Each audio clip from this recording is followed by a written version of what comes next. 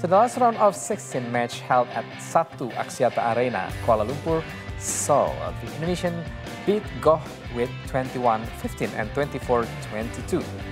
Meanwhile, Indonesian men's double pair Ahsan Hendra faced an early exit in the second round due to Ahsan back injury. The 36-year-old withdrew from the match against He Jiting and Ren Xiang Yu of China. Meanwhile, Indonesian men's singles player Anthony Sinisuka Ginting also suffered a 21-23 and 23-25 were the tight score. Defeat from his Chinese opponent Lu opponent, I mean Lu Guangzu.